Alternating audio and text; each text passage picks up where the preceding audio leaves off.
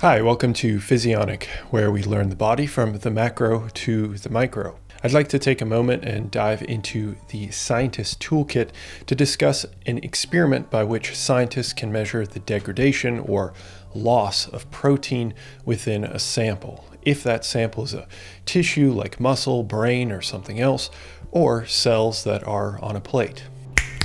Learn Your Body, a science based education.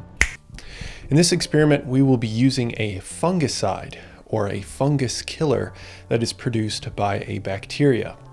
This fungicide is called cycloheximide, but there are other compounds out there that can accomplish similar results to how we will use it for this experiment.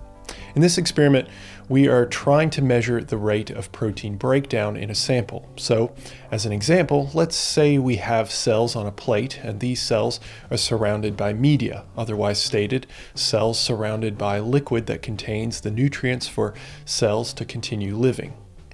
We can take these cells and quantify the amount of a particular or all protein in these cells as a baseline measure of protein within the cells. Now we have one time point, the baseline, and we want to measure protein degradation or breakdown.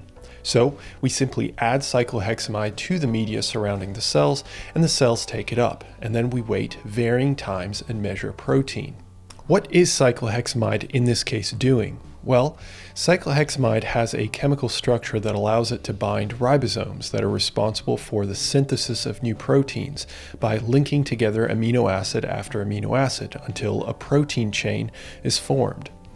Normally, this process goes by uninterrupted until protein chains are completed and ready for processing. During this process, a factor known as eukaryotic elongation factor binds the ribosome, and allows the use of energy to move the ribosome down its reading script, known as RNA, and attach the next amino acid. However, cycloheximide binds the ribosome in such a way that it blocks this elongation factor from accessing the ribosome, thereby blocking the ribosome from continuing its synthesis of proteins. In this way, cycloheximide stops protein synthesis. Now, scientists use this to our advantage because if we stop protein synthesis throughout the cell, what protein has already been produced is all that is left. This stands to reason. As such, proteins are no longer being produced and are only being degraded because the degradation machinery is still functioning, unlike the production synthesis machinery. So we add cycloheximide to the aforementioned media surrounding the cells, and across time we can measure how quickly degradation occurs. We can either measure the protein quantity at varying time points directly, or we can use immunofluorescence and watch under a microscope that detects fluorescence the fading fluorescent intensity of a particular protein over time. Bottom line, we stop the cell synthesizing protein and watch what happens to the proteins that were there pre-treatment, pre-cycloheximide.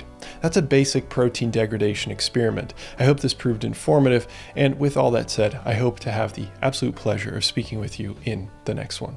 Bye.